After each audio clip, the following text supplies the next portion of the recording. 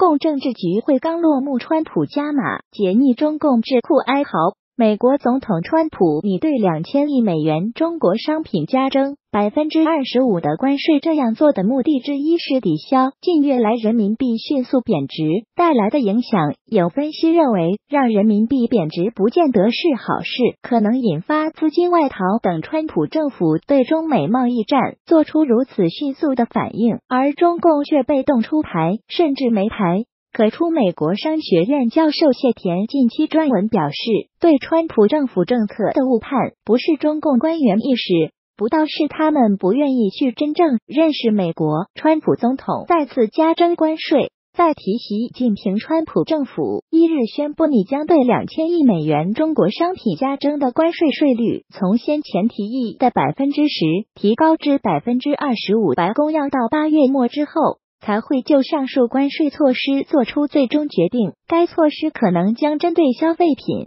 食品以及机器组件。川普顾问认为，提高税率的目的之一是抵消近月来人民币迅速贬值带来的影响。自五月三十日以来，人民币对美元已累计下跌百分之六。这些关税要等到公众意见征询期过后才会生效。不过，将税率提升至百分之二十五的前景。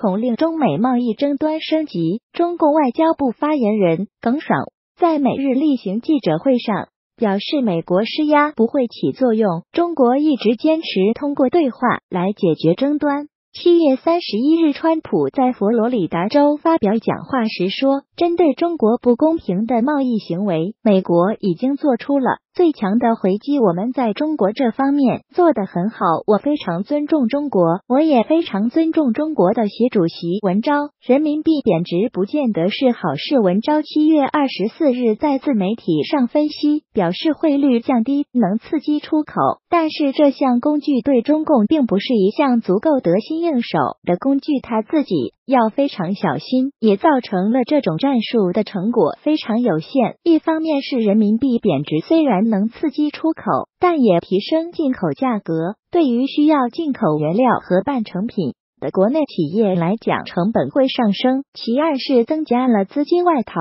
的冲动，资本从股市撤出，造成股市下跌压力增加。资金涌入相对能保值的房产市场，造成给房地产去泡沫的难度增加，加大了金融风险。所以人民币汇率只能一点点的降到一定时候，还得给跌势降温。观察宏观经济环境对这剂猛药的承受能力，再决定要不要继续贬值。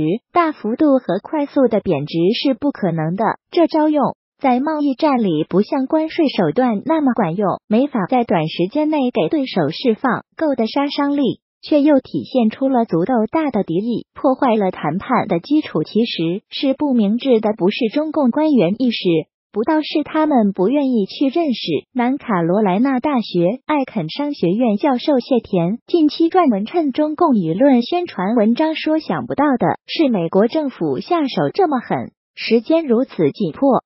容不下谈判的时间，他们说这是中国官员和专家预测不到的。其实不是中共官员意识不到，是他们不愿意去认识川普。在竞选初期就明确表明了立场，中共只是一厢情愿，希望左派政客上台，这样他们就可以继续拉拢合作了。但令他们遗憾的是，美国不会在左派的。背离传统的路上继续走下去。中共舆论家认为，美国下重手，三百亿、五百亿、两千亿叠加式的增收关税，是美国历史上前所未有的。确实如此，中共对美国的开油剥削被民主党政府忽略放任，以至于中美贸易不平衡，如此也是前所未有。的也是需要拨乱反正的。中共舆论宣传文章说，悲哀的发现，没有一个国家站出来表示同情和支持中国，没有一个国家站出来与中国建立统一反美联盟。他们承认中国曾经援助了许许多多。的国家，那些国家也拿了中国许多好处，但关键时候，那些国家都没有与中国采取统一行动。谢田文章说：“这就对了，中国人讲得道多助，失道寡助，说的恰恰就是这个道理。中共对许多国家的援助和收买是违背中国人民意愿的。”利用金钱收买获得的国际支持为反道义，自然也不会长久。非但如此，中共很快就会发现，许多国家，包括那些接受了中共金钱的国家，将来会与美国结成反共联盟，开展人类社会对共产主义政权的围剿。中共舆论宣传文章说，想不到美国国内竟然形成了统一战线共和。